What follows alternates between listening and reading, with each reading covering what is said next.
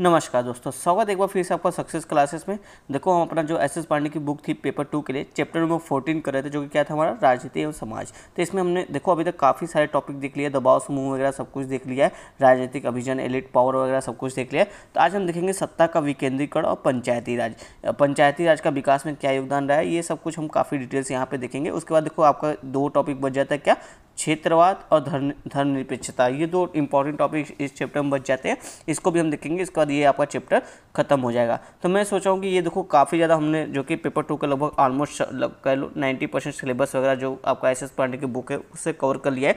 तो ये चैप्टर खत्म होता है तो इसके बाद हम जो कि पेपर वन जो कि आपका इंपॉर्टेंट पेपर है, वो जो कि शुरू करेंगे, जिसमें जो कि विभिन्न जो समाजशास्त्री हैं, उनकी थ्योरी वगैरह, वो सब भी हम लोग यहाँ पर डिटेल्स ऐसे ही एस एस पांडे की बुक के थ्रू ही देखेंगे। ठीक है? तो ये चैप्टर खत्म होने के बाद पेपर वन हम लोग शुरू करेंगे। तो चलो, आज का पहला टॉपिक अपना देखते हैं, क्या है हमारा पंचायती राज या सत्ता का विकेंद्रीकरण। तो इस देखो, पंचायती राज कैसे आता है, ये उसका कुछ बैकग्राउंड यहाँ में बताता है। तो शुरू करने से पहले कुछ चीज़ें जो यहाँ पे नहीं दी गई है, जैसे जैसे बता रहा हूँ मैं आपको आपको जो कि लिखना चाहिए आंसर में मेन्स में अगर आंसर आ गया तो। जैसे डीपीएसपी में आर्टिकल फोर्टी में आपका ग्राम पंचायत के गठन के संबंध में बात किया गया है, जो कि मतलब ऐसा बोला गया कि जो राज्य होगा, वो भविष्य जो कि सत्ता का विकेंद्रीकरण करने के लिए या फिर लोकतंत्र को और मज़बूत करने के लिए ग्राम पंचायत का गठन करेंगे। ऐसा डीपीएसपी में लिखा गया था, जिसको देखो नाइनटीन में पहली बार ट्राई किया गया कि हाँ ग्राम पंचायत हम कहीं गठित करते हैं, इस तरह की कोशिश की कोशिश की गई और 1993 में जिसको, जो कि इसको संवैधानिक दर्जा दे दिया गया। यानी कि कॉन्स्टिट्यूशन में इस तरह का प्रावधान कर दिया कि हमारे देश में एक जो कि हर गाँव में, जो कि ग्राम पंचायत का भी गठन होगा, उसके क्या क्या बातें होंगी, कैसे उसका गठन होगा, वो सब सारे प्रावधान संविधान में लिखित हो गए थे 1993 में। ठीक है तो इस तरह से कुछ ग्राम पंचायत का जो कि हमारे यहाँ गठन होता है तो चलो शुरू करते हैं। उम्मीद आपको थोड़ा सा टॉपिक क्लियर हो गया होगा कि क्या हम लोग पढ़ने वाले हैं। देखो, ग्राम पंचायत आपका काफ़ी इंपॉर्टेंट टॉपिक है सोसाइटी के पर्सपेक्टिव से। तो इसलिए आपका जीएस पेपर वन सोशियोलॉजी का जो पेपर है, वो तो है ही। और एथिक्स के लिए भी ये एथिक्स प्लस आपका जो एसए वाला पोर्शन है ना, उसके लिए जो कि ये इंपॉर्टेंट हो जाता है आपका लोकतंत्र वो आपका पंचायती राज ठीक है, लोकतंत्र का विकेंद्रीकरण। इसके आधार पे। तो चलो शुरू करते हैं अपना पहला टॉपिक और ये एक चीज़ और, ये जो आपका ग्राम पंचायत है ना, ये गांधीयन आइडिया है। गांधी जी कहते थे कि गाँव के स्तर पर जो कि सत्ता का हस्तांतरण होना चाहिए तो देखो यहाँ पर देखो गांधी जी का एक इंपॉर्टेंट कोट है लोकतंत्र को लेकर जिसमें देखो, ग्राम पंचायत के महत्व को जो कि ये अंकित करता है ये कोट तो ये गांधी जी लिखते हैं कि सच्चा लोकतंत्र वही है, जो कि केंद्र में बैठकर राज्य चलाने वाला ना होकर, बल्कि गाँव के प्रत्येक व्यक्ति जिसमें जिसमें गाँव के प्रत्येक व्यक्ति का सहयोग हो। तो उसी उसी को इन्होंने सच्चा लोकतंत्र बोला है। तो इसलिए देखो ये गांधी जी का ये कोटेशन काफ़ी इंपॉर्टेंट हो जाता है। तो चलो अपना ये पुस्तक में जो चीज़ें दी हैं उसको अब पढ़ना यहाँ से शुरू करते हैं। तो बोला जा रहा है यहाँ पे लाइन टू लाइन पढ़ेंगे हम लोग जैसा कि हमारा जो सीरीज़ है चल रहा है। बोला जा रहा है स्वतंत्रता के पश्चात भारतीय संविधान द्वारा लोकतांत्रिक राजनीतिक प्रणाली अपनाई गई है और और हम भारत के लोक के रूप में सत्ता का मूल स्रोत नागरिकों को माना गया यानी भारत के संविधान में जो आपका लोकतंत्र या, फिर जो आपका सत्ता है उसका मूल स्रोत कौन है? भारत के नागरिक है। ठीक है इस तरह की बात यहाँ पे कहा जा रहा है। सत्ता के विकेंद्रीकरण पर बल दिया गया, जिससे नीति निर्माण और राष्ट्रीय विकास में सभी की भागीदारी सुनिश्चित की जा सके। इसीलिए देखो, सत्ता के विकेंद्रीकरण पर बल दिया जाता है, ताकि जो राज्य जो सत्ता में सब, सबकी भागीदारी तो सुनिश्चित हो सके, और जो राष्ट्र का विकास है, उसमें भी देखो, सबकी भागीदारी सुनिश्चित हो सके। फिर देखो यहाँ बोला जा रहा है कि हमने पंचायती राज क्यों लाया? तो बोला जा रहा है कि भारत में सामुदायिक विकास कार्यक्रम की असफलता के बाद सत्ता के विकेंद्रीकरण की अधिक आवश्यकता महसूस की जाने लगी। भारत की क्षेत्रीय विविधता एवं उन क्षेत्रों की अपनी अलग अलग समस्याओं के कारण यह माने जाने लगा कि एक केंद्रीय नीति द्वारा सभी जगहों की समस्याओं को दूर नहीं किया जा सकता। सही बात है, अगर मान लो भारत में इतने, इतना डाइवर्स कंट्री है, इतना डाइवर्स रीजन लैंग्वेज हर जगह पर देखोगे कल्चर के आधार पर डाइवर्सिटी इतना ज़्यादा है और सभी जगह की समस्याएँ भी देखो अलग अलग है। तो आप एक सेंट्रल में बैठा एक आदमी जो कि भारत के सभी गाँव की समस्या का समाधान नहीं कर सकता। अतः ज़रूरत किस बात की थी कि, कि ग्रामीण मतलब हर गाँव गाँव के स्तर पर जो कि एक तरह से सत्ता का विकेंद्रीकृत किया जाए। यहाँ पे कोई एक जो ऐसा व्यक्ति हो जिसके पास कुछ पावर हो गाँव की समस्या का निदान करने के लिए। तो इस तरह के जो कि हमको नीति की आवश्यकता थी। इसी वजह से देखो आपका जो पंचायती राज का गठन करने की बात कही गई थी। ठीक है तो इस तरह से यहाँ पे बात कही जा रही है कि जो आपका लोकल लेवल पे समस्या का समाधान करने के लिए पंचायती राज इंपॉर्टेंट हो गया था। इस प्रकार हम सत्ता के विकेंद्रीकरण विकेंद्रीकरण को लोकतंत्र विकेंद्रीकरण के रूप में देख सकते हैं, जहाँ पर केंद्रीय सत्ता का हस्तांतरण विभिन्न क्षेत्रीय संस्थाओं को हो जाता है और वे लगभग स्वायत्त रहते हुए क्षेत्रीय नीतियों एवं विकास कार्यक्रमों द्वारा अपने क्षेत्र के विकास करने में समर्थ बन जाते हैं। तो इस तरह से यहाँ थोड़ा सा बैकग्राउंड चलता है पंचायती राज का। अब देखो, यहाँ बताया जा रहा है पंचायती राज्य के बारे में, भारत में पंचायती राज्य अब इस टॉपिक को हम लोग यहाँ से अच्छे से डिटेल में देखते हैं। तो बोला जा रहा है कि स्थानीय स्वशासन भारत की ऐतिहासिक परंपरा रही है, जिसकी अभिव्यक्ति परंपरागत भारत में पाई जाने वाली ग्राम पंचायतों के रूप में होती है। यानी कि ऐसा नहीं कि ये स्वतंत्रता के बाद ही हमारे यहाँ पंचायत है। हमारे यहाँ जो देखो जो पंचायती है, वो ऐतिहासिक रूप से जो कि हमारे समाज में बनी हुई है। तो और जो कि स्वतंत्र स्वतंत्रता के बाद इसको देखो संवैधानिक दर्जा भी दे दिया गया है 1993 के जो संविधान में संशोधन करके। तो ये जो हमारा पंचायत, ऐसा नहीं कि कोई नया ये जो देखो ऐतिहासिक रूप से जो कि हमारे समाज में चला आ रहा है। इस तरह की बात यहाँ पे बताई जा रही है। फिर देखो बोला जा रहा है स्वतंत्रता प्राप्ति के पश्चात भारत में लोकतांत्रिक सामाजिक व्यवस्था को अपनाया गया और गाँव के चौमुखी के चौमुखी विकास के उद्देश्य से 1950 से ग्रामीण विकास के कई कार्यक्रम शुरू किए गए, लेकिन इन कार्यक्रमों की अपेक्षित सफलता प्राप्त नहीं हुई और ऐसा महसूस किया गया कि भारत जैसे बड़े देश में जहाँ विस्तृत भिन्नताएँ हैं, ग्रामीण विकास एक ऐसा राष्ट्रीय प्रयास होना चाहिए जिसमें विभिन्न स्तरों पर भिन्न भिन्न संस्थाएँ शामिल हो। ठीक है? यानी कि देखो, हमने बहुत सारे प्रयास किए गाँव के विकास के लिए, लेकिन गाँव का विकास जो कि जैसा हमने चाहा था वैसा हो नहीं पाया, इसलिए जो कि आपका सत्ता के विकेंद्रीकरण करने की की प्रक्रिया को महसूस किया जाने लगा भारत ने। तो देखो, बोला जा रहा है यहाँ पे विकास की सफलता के लिए विकेंद्रीकृत नियोजन को अनिवार्य साधन के रूप में अपनाया जाए और इसके लिए नियोजन को केंद्र स्तर, राज्य स्तर, जिला, ब्लॉक और गाँव स्तर पर विकेंद्रीकृत किया जाए। यानी जो केंद्रीय सत्ता है, उसको देखो केंद्रीय स्तर पर राज्य स्तर पर जिला, ब्लॉक और गाँव स्तर पर जो कि उसको विकेंद्रीकृत किया जाए। ऐसा बलवंत राय समेता, बलवंत राय मेहता की जो कमेटी थी, उन्होंने इस तरह का सिफारिश किया था। अगर विकास को सफल बनाना है तो हमको इस तरह का काम करना पड़ेगा। स्वतंत्र भारत में पंचायती राज बीस अक्टूबर उन्नीस उनसठ को इसी आवश्यकता का प्रतिफल है जो प्रारंभिक दौर में सरकारी उदासीनता और संरचनात्मक अवरोधों के कारण शिथिल था। यानी कि देखो जो पंचायती राज हमारा पहली बार जो गठन हुआ था 20 अक्टूबर उन्नीस सौ उनसठ को जो आपका राजस्थान का एक कोई जिला है वहाँ पे जो कि गठन हुआ था आ, सबसे पहली बार। लेकिन ये जो को सरकार का जो देखोगे उदासीनता इसके प्रति रही ज़्यादा जो कि सरकार एक्टिव नहीं रही तो इस वजह से ये जो जो आपका पंचायती राज जो प्रारंभ में आरंभ हुआ था वो उतना सक्सेस नहीं था। इसलिए महसूस किया गया कि उन्नीस सौ तिरानवे में इसको देखो तिहत्तरवें संविधान संशोधन द्वारा इसको संवैधानिक दर्जा देते हुए इसको संगठित स्वरूप प्रदान करने के पश्चात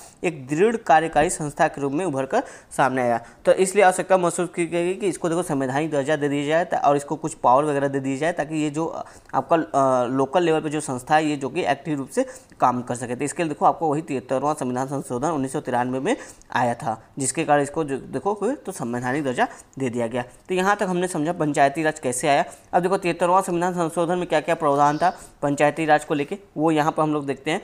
तो बोला जा रहा है, पहला पॉइंट में ग्राम सभा को पंचायती राज्य प्रणाली का आधार माना गया, जो राज्य विधानमंडल द्वारा सौंपे गए कार्यों एवं अधिकारों का निष्पादन करेगी। यानी पंचायती राज में सबके, सब कुछ किसके हाथ में आ गया? ग्राम सभा। ग्राम सभा कौन? वही जो ग्राम ग्राम में जितने ऐसे ऐसे लोग हैं जो वोट कर सकते हैं। यानी ग्रामीण जितने वोटर हैं, वो सभी किसमें आएँगे? ग्राम सभा के अंतर्गत आएँगे।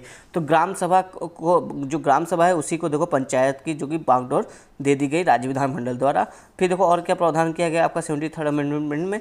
तो बोला जा रहा है, गाँव मध्यवर्ती और जिला स्तर पर पंचायतों की त्रिस्तरीय व्यवस्था होगी, परंतु कुछ राज्य मध्यवर्ती स्तर के गठन से बच सकते हैं। अब देखो, जिस जिस राज्य की आबादी बहुत ज़्यादा है, वहाँ पे गाँव बहुत ज़्यादा है, शहर बहुत घने तो वहाँ पे तीन स्तर पर हो सकता है, गाँव, मध्यवर्ती मध्यवर्ती और जिला स्तर पर। लेकिन कहाँ, कहीं कहीं देखोगे आपका गाँव की आबादी बहुत कम है और राज्य की भी आबादी बहुत कम है तो वहाँ पर मध्यवर्ती स्तर हो, चाहे ना हो, इसलिए कोई ज़रूरी नहीं है। इस तरह का प्रावधान किया गया। फिर साथ ही देखो बोला जाएगा तीनों स्तरों पर सदस्यों का चुनाव प्रत्यक्ष होगा, यानी गाँव गाँव की जो जनता होगी वो डायरेक्ट इनको चुनेगी और प्रत्येक स्तर पर पंचायत का कार्यकाल पाँच वर्षों का होगा। टेन्योर का, जो कि पंचायत का फिक्स कर दिया कितना?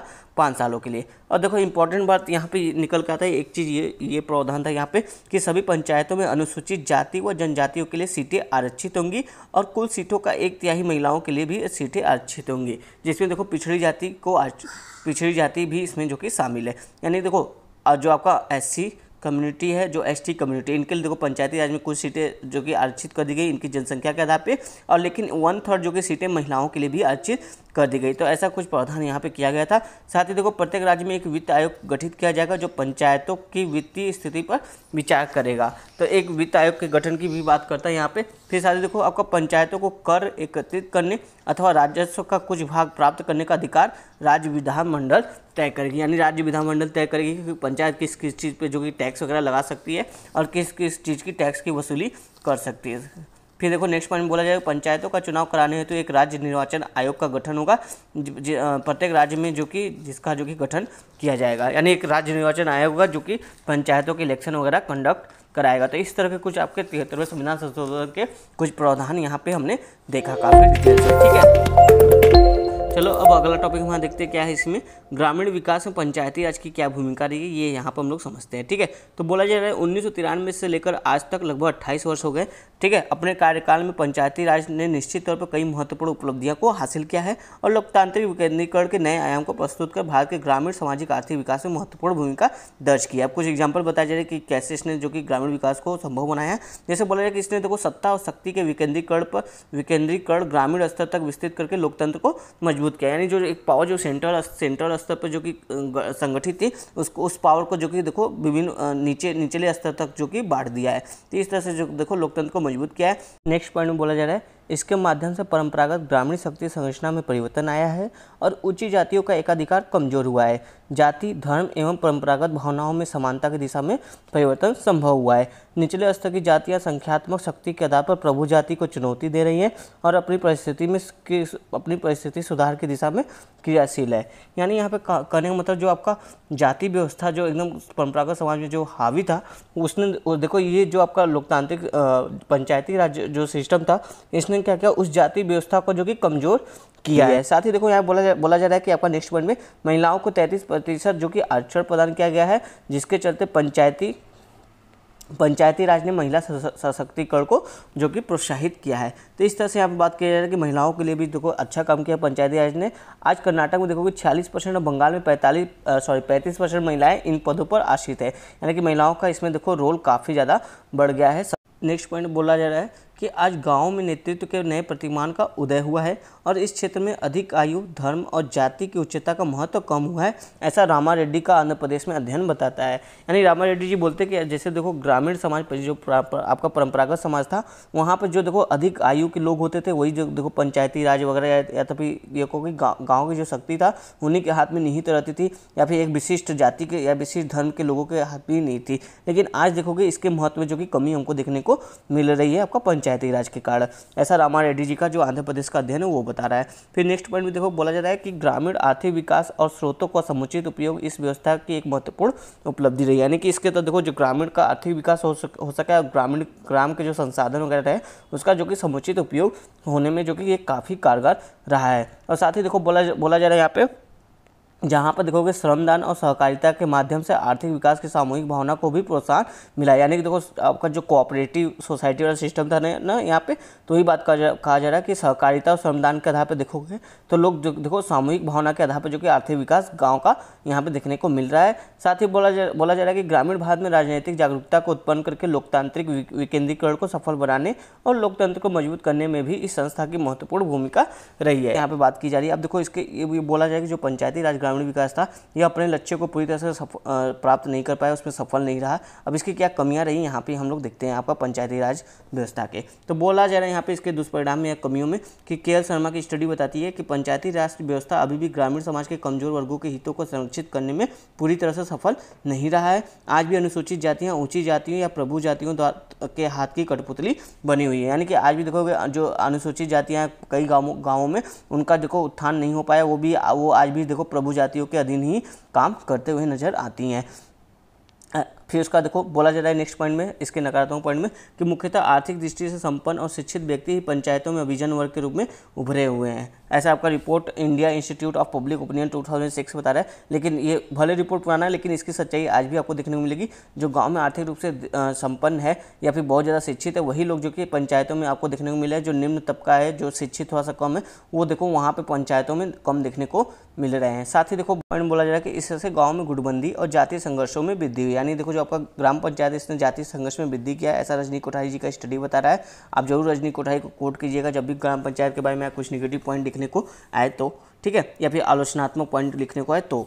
ठीक है? आगे देखो बोला जा रहा है कि पंचायती राज ने गाँव में एक नई गैर सरकारी नौकरशाही को जन्म दिया है और सत्ता लोलुपता एवं भ्रष्टाचार को बढ़ाया है। देखो आज सत्ता की लालच में बहुत से लोग जो कि आपस जो कि चुनाव लड़ रहे हैं और बहुत ज़्यादा जो कि करप्शन वगैरह भी कर रहे हैं। देखो जैसे लो, लोगों को क्या करते हैं? दारू बांटते हैं पैसा बांटते हैं और फ्री की चीज़ें देते हैं। तो इस तरह से क्या करते हैं? वो वोट को मोबिलाइज करने का काम करते हैं और ये सब पैसा देखो कहाँ से आता है? वो करप्शन का ही पैसा होता है एक तरह से उसी के थ्रू जो कि यहाँ पर आता है। नेक्स्ट पॉइंट देखो बोला जाएगा कि पंचायती राज ग्रामवासियों में योजनाओं के प्रति सकारात्मक उत्साह पैदा करने में पूर्णतः सफल नहीं रहा। तो ये कुछ उसके निगेटिव पॉइंट बताया जा रहा है आपके पंचायती राज व्यवस्था के, कि वो सफल नहीं रहा। अब यहाँ पर देखो उसके कारण बता रहे हैं कि क्यों ये सफल नहीं रहा, उसके कुछ कारण हैं, इसके सफल न होने का। तो पहला कारण इसमें देखो बताया जा रहा है कि तिहत्तरवें संविधान संशोधन के तहत पंचायती राज को संवैधानिक दर्जा दिया गया और इसे लागू करना अनिवार्य बनाया गया। परंतु इसकी महत्वपूर्ण कमी यह रही कि इन संस्थाओं के शक्ति हस्तांतरण का कार्य राज्य विधानमंडल पर छोड़ दिया गया और राज्य सरकारें अपने अधीन पंचायतों को पर्याप्त शक्ति देने में से कतराती हैं। यानी राज्य सरकारें नहीं चाहती कि पंचायतों के पास ज़्यादा शक्ति हो करती हैं। तो ये इसका एक निगेटिव इस, इस कारण से देखो जो पंचायती राज है वो ज़्यादा सफल नहीं हो पाया साथ ही देखो बोला जा रहा है यहाँ पे पंचायतों को कर वसूली यानी टैक्स वसूली तथा जुर्माना तक का अधिकार है लेकिन यह पर्याप्त नहीं है और न ही वास्तविक भी है। ऐसा ब्रह्मदत्त शर्मा की स्टडी बताती है। बोलते हैं पंचायत के निर्णय को यदि कोई नहीं मानता है तो पंचायत इसमें कुछ कर नहीं सकती। तो इस तरह से यहाँ बताया कि पंचायत के पास कोई खास पावर नहीं है। साथ ही नेक्स्ट पॉइंट बोला जाए कि आज वयस्क मताधिकार और संख्या बल पर चुनी हुई पंचायतों को परंपरागत जाति पंचायतें, ऊँची जातियाँ, प्रभु जातियाँ और पुरुष वर्ग स्वतंत्रता पूर्वक कार्य नहीं करने दे रही है। यानी कि देखो, जो ऐसे निम्न जाति के लोग हैं, जो संख्या के आधार पर बहुत ज़्यादा है और वो जो कि संगठित होकर अपना जो कि एक प्रतिनिधि चुन लिया अपनी ही जाति से तो जो उस गाँव में या उस समाज में जो कि प्रभु जाति है या उच्च जाति है, वो देखो क्या इनको जो कि ठीक से काम नहीं करने दे रही, इनके काम को हमेशा अड़ंगा लड़ाई रहती है। इस वजह से देखो जो पंचायती सिस्टम है, वो ठीक से काम नहीं कर पाया। बोला जा रहा है कि इसका कारण बताया जा रहा है क्योंकि आधुनिकीकरण के बावजूद अभी भी ग्रामीण भारत में सामाजिक, आर्थिक विषमता और प्रतिशतात्मकता के अवशेष विद्यमान है। इसी कारण से देखो जो हमारी जो पट्यार्की सिस्टम है, वो अभी भी देखो हमारे समाज में जो कि विद्यमान है। सामाजिक, आर्थिक विषमता तो वो भी देखो काफ़ी ज़्यादा है। एक ही गाँव में बहुत ज़्यादा अमीर कोई है तो कोई कोई ऐसा है जिसको दो वक्त की रोटी भी नसीब नहीं होती। तो इसी वजह से बोला जा रहा है कि ये जो आपका पंचायती सिस्टम वो उतना सफल नहीं हो पा रहा है। फिर नेक्स्ट पॉइंट में बोला जाए पंचायती राज अधिनियम में मध्यस्तर और जिला स्तर की पंचायतों में विधानसभा व विधान परिषद के सदस्यों तथा संसद, सांसदों को, सांसदों का पदेन सदस्य के रूप में शामिल किया गया है।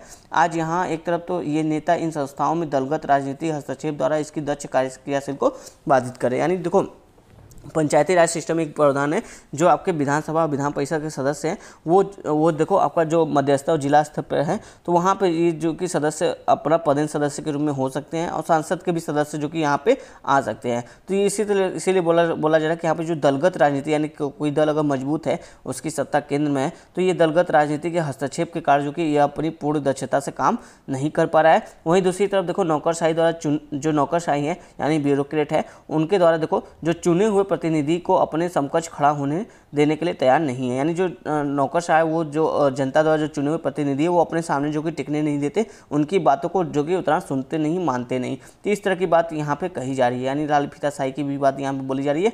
फिर देखो नेक्स्ट पॉइंट बोला जा रहा है कि पंचायतें मुख्यतः राज्य के भरोसे हैं और राज्य सरकार राजनीतिक कारणों से अनुदान के आवंटन में भेदभाव करती हैं। उदाहरण के तौर पर मान लो, जैसे कोई राज्य है कोई ए राज्य है, यहाँ पर किसी मान के चलो एक्स पार्टी की जो कि सत्ता है राज्य में, ठीक है, सीएम जो कि एक्स पार्टी से है यहाँ पर इस ए राज्य में एक्स पार्टी के जो कि प्रतिनिधि है। अब इसी ए राज्य में कोई गाँव है, जहाँ पे देखो कोई वाई पार्टी का जो कि प्रतिनिधि यहाँ पे वाई पार्टी की तरफ़ से कोई कैंडिडेट चुनाव लड़ा था ग्राम स्तर पर और वो चुनाव जीत गया तो अब ये एक्स पार्टी से नहीं है तो ये क्या करेंगे? इनको देखो पैसे वगैरह कम देंगे अलाट वगैरह कम करेंगे, जबकि अगर इन्हीं की पार्टी से कोई ग्राम स्तर पर जो कि जीता है तो उसको ज़्यादा पैसे वगैरह देंगे। तो इसीलिए बोला जा रहा है कि देखो अनुदान के आवंटन में भेदभाव भी किया जाता है। इस तरह की बात यहाँ पर कही जा रही है। साथ ही देखो बोला जा रहा है कि अशिक्षा, जागरूकता की कमी और राजनीति के अपराधीकरण के कारण अपेक्षित सहयोग इस संस्था को नहीं मिल पाया यानी कि अशिक्षा और जागरूकता की कमी के कारण जो पंचायती राज को जो कि अपेक्षित सहयोग नहीं मिल पाया है। और साथ ही देखो राजनीति का अपराधीकरण भी कितना तेज़ी से हो रहा है। इस वजह से देखो जो आ, आ, जो आम जन है या फिर जो ईमानदार लोग हैं जो वो देखो इस तरह से पंचायती राज सिस्टम में नहीं आ पा रहे हैं। साथ ही देखो यहाँ बोला जाए कि पंचायती राज के तीनों स्तरों में आज भी सामंजस्य का अभाव है। यानी जो आपका जिला स्तर पंचायत स्तर है और आपका मध्य स्तर है इनमें देखो सामंजस्य का अभाव है। इस वजह से पंचायती स्तर जो कि अच्छे से काम नहीं कर पा रहा है। और नेक्स्ट पॉइंट में बोला जा रहा है कि पंचायती राज के नेतृत्व में गुणों व एवं प्रशिक्षण का अभाव भी संस्था का आज एक कमज़ोर पक्ष यानी जो पंचायती राज के जो नेतृत्व है, यानी जो लीडर चुन लिए गए, उनको देखो प्रशिक्षण कम मिल रहा है, प्रशिक्षण ठीक से नहीं मिला कि कैसे पंचायत को रन वगैरह करे। तो इस वजह से भी देखो पंचायती राज सिस्टम जो कि अच्छे से काम नहीं कर पा रहा है। साथ ही बोला जाए कि गाँव में गुटबंदी के चलते योजनाओं की अस्वीकृति भी पंचायती राज संस्थाओं की क्रियाशीलता को बाधित करता है। यानी कि कोई मान लो ग्रामीण स्तर पर पंचायत, ग्रामीण स्तर पर कोई अगर स्कीम वगैरह चल रहा है तो जब ग्रामीण जो लीडर है या फिर पंचायत जो सरपंच है, वो अगर बताता है जनता को कि इस तरह की स्कीम है आप इसका लाभ ले सकते हैं। लेकिन कुछ लोग जो कि गुटबंदी कर लेते हैं, इनके इनके विपक्ष जो होते हैं, वो इन स्कीम को सक्सेस नहीं होने देते। तो इसके कारण भी देखो ग्रामीण जो कि जो कि आपका ग्रामीण पंचायती सिस्टम, वो उतना सफल नहीं हो पाया। साथ ही नेक्स्ट पॉइंट, एवरग्रीन वाला पॉइंट है आपका, भ्रष्टाचार, गरीबी और अशिक्षा जैसी आधारभूत समस्याएँ भी कई रूपों में पंचायती राज की सफलता के मार्ग में बाधित रही है। तो ये हमने काफ़ी, देखो दस पॉइंट काफ़ी डिटेल्स बताया गया कि क्या क्या जो कि यहाँ पे पंचायती राज के सफल न होने पे क्या क्या समस्याएँ रही हैं, उसका क्या कारण है, वो यहाँ पे हमने देखा और समझा। अब देखो, बताया जा रहा है कि उपरोक्त का, उपरोक्त कारणों से पंचायती राज व्यवस्था अपने 28 वर्षों के समयावधि में अपेक्षित लक्ष्यों की प्राप्ति में पूर्णतः सफल नहीं रही। यह बात इस तथ्य से भी संपुष्ट होती है कि पंचायती राज व्यवस्था से संबंधित आवंटित निधि का भी पूर्ण पूर्ण रूप से उपयोग नहीं हो पाता है। यानी जो पंचायती राज के लिए जो पैसे अलॉट किए जाते हैं, उस पैसों का भी पूर्ण रूप से उपयोग नहीं किया किया जाता है।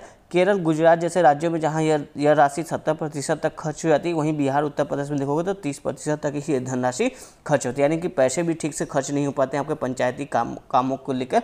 इस वजह से जो कि पंचायती सिस्टम जो कि अच्छे से काम नहीं कर पा रहा है। अब देखो यहाँ पर मूल्यांकन ओवरऑल की बात की जा रही है इसके मूल्यांकन की बात कही जा रही है पंचायती राज व्यवस्था की तो ये भी हम देख लेते हैं। तो देखो, बोला जा रहा है उपरोक्त सभी पक्षों पर विचारोपरांत विचारोपरांत हम सम कह सकते हैं कि पंचायती राज के परिणाम अधिकांशतः सकारात्मक रहे हैं। संवैधानिक दर्जा तथा समयबद्ध चुनाव द्वारा महिलाओं की भागीदारी और समाज के पिछड़े वर्गों का इस प्रक्रिया में स्थान सामाजिक न्याय की दिशा में एक महत्वपूर्ण कदम साबित हुआ यानी जो महिलाओं को का सशक्तिकरण किया गया और जो आरक्षण दिया गया, इसकी वजह से देखो सामाजिक न्याय को सुनिश्चित किया गया है ग्रामीण स्तर पर। साथ ही बोला जाए कि पंचायती राज संस्थाओं को न केवल ग्रामीण विकास का माध्यम बनाया गया है, बल्कि लोकतंत्र के विकेंद्रीकरण की इस प्रक्रिया में निम्न स्तर पर लोगों की भागीदारी को भी सुनिश्चित की गई है, जिससे लोगों को निर्णय प्रक्रिया में भाग लेने के लिए प्ररोच रास्ता मिला है। यानी जो आपका लोकतंत्र का विकेंद्रीकरण हुआ पंचायती राज के द्वारा, इसके थ्रू देखो जो सत्ता है, वो निम्न वर्ग यानी जमीनी स्तर तक लोगों तक पहुँच सकी है। फिर देखो यहाँ बोल है कि भारत में लगभग तीन चौथाई जनता गाँव में रहती है, यानी आज देखोगे तो पैंसठ परसेंट जनता कहाँ पर रहती है? गाँव में ही रहती है। तो ये उनके लिए एक स्लोगन है काम भी अपना, गाँव भी अपना। यानी कि जो हमारा गाँव है, उसमें काम कौन करेगा? हम ही लोग करेंगे। ऐसा नहीं कि कोई बाहर सेंट्रल के, दिल्ली में बैठा कोई इंसान करेगा। ठीक है? यानी ये जो पावर है, वो हम ही लोगों में होगी और जो हमारे गाँव की समस्या है, उसका समाधान भी हम गाँव वाले ही मिलकर करेंगे। ठीक है तो इसी उद्देश्य से पंचायती राज संस्थाओं के गौरव को, को और बढ़ा दिया है। ये जो उद्देश्य था इसने देखो पंचायती राज का जो पंचायती राज है उसके गौरव को और बढ़ा दिया है इसी उद्देश्य के कारण। तो देखो बोला जा रहा है यहाँ पे यद्यपि इस व्यवस्था के निश्चित तौर पर कुछ नकारात्मक पक्ष रहे हैं परंतु कुछ उन परंतु उन्हें कुछ एक सुझाव पर अमल करके उन्हें सीमित किया जा सकता है। यानी कुछ सुझाव बताया जा रहा है कि कैसे इसके नकारात्मक प्रभाव को कम किया जा सकता है। तो बोला जा रहा है इसमें देखो पहले पॉइंट में पंचायतों के माध्यम से किस तरह का विकास और परिवर्तन चाहिए इसको इसके स्पष्ट मानदंड, मानदंडों का पूर्वानिर्धारण होना चाहिए। यानी कि एक स्पष्ट, जो कि पूरा बायोडेटा बनना चाहिए, पूरा एक डेटा होना चाहिए कि क्या क्या समस्याएँ हैं और कैसे इनका निदान किया जा सकता है क्या क्या किया जा सकता है, ठीक है? तो एक प्रॉपर एक मानदंड होना चाहिए कि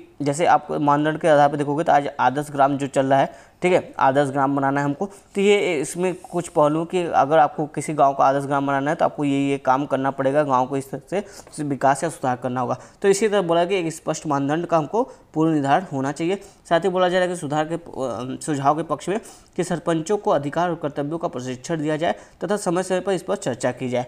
नेक्स्ट पॉइंट बोला जा रहा है कि स्रोतों के उपयोग की समीक्षा हेतु तो केंद्र और राज्य के कैग और पैक की तर्ज पर समिति का गठन किया जाए। यानी कि यहाँ अर्थात यहाँ करने मतलब कि इसको बराबर जो कि पंचायती राज के काम को ऑडिट ऑडिट वगैरह भी किया जाए। ठीक है? कि जितना धनराशि वहाँ एलोकेट हुआ पंचायतों के लिए उसका किस तरह से उपयोग हो रहा है। फिर देखो बोला जा रहा है कि सरकार द्वारा जो विकास कार्यक्रम समानांतर संस्थाओं द्वारा चलाया जा रहा है, जैसे आंध्र प्रदेश में देखो पंचायत के अलावा भी सरकार जो कि स्वयं जो कि जो जो काम देखो पंचायत कर सकती है, वो पंचायत को पावर न देकर सरकार जो कि, राज्य सरकार जो कि स्वयं कर रही है। तो बोला जा रहा है कि ऐसे जो स्कीम जो राज्य सरकार स्वयं कर रही है, पंचायतों को न देकर, उसे बंद कर देना चाहिए और पंचायती राज संस्थाओं द्वारा ही इसको रन करना चाहिए। फिर देखो, नेक्स्ट पॉइंट बोला जाए कि पंचायती राज के क्रियाकलापों में राजनीतिक दल के हस्तक्षेप को रोका जाए, प्रशासनिक अधिकार की सकारात्मक भागीदारी को सुनिश्चित किया जाए और तीनों स्तरों में सामंजस्य बिठाने की भी प्रयास किया जा सकता है। फिर देखो नेक्स्ट पॉइंट बोला जा रहा है, सामाजिक कुरीतियों जैसे अज्ञानता, अंधविश्वास को अधिकाधिक शिक्षा के प्रसार द्वारा दूर कर ग्रामीण जनता को अधिक से अधिक जागरूक बनाया जाए और लोकतंत्र विरोधी परंपरागत समाज के अवशेष को समाप्त करके एक लोकतांत्रिक ग्रामीण मनोवृत्ति का विकास किया जाए यानी जो आपके ग्राम ग्राम, गाँव में देखोगे काफ़ी ज़्यादा जो कि अंधविश्वास वगैरह होता है और अज्ञानता काफ़ी ज़्यादा होती है, यानी कि जो शिक्षा का स्तर काफ़ी निम्न होता है। तो बोला जाएगा कि शिक्षा का प्रसार करके यहाँ पर लोगों को राजनीतिक रूप से जागरूक करना चाहिए और उनके अधिकारों के बारे में उनको बताना चाहिए। फिर साथ ही नेक्स्ट पॉइंट बोला जाए कि चुनावी जो चुनाव की प्रक्रिया उसको निष्पक्ष और सरल बनाया जाए। इस तरह से कुछ सुझाव दिए जा रहे हैं, जिससे आपको जो ग्रामीण लोकतांत्रिक है, उसको मज़बूत किया जा सकता है। तो यहीं पर आपका पंचायती राज वाला टॉपिक खत्म होता है। नेक्स्ट टॉपिक आपका आता है, भारत में क्षेत्रवाद, इसको हम लोग कल देखेंगे। तब तक के लिए धन्यवाद दोस्तों।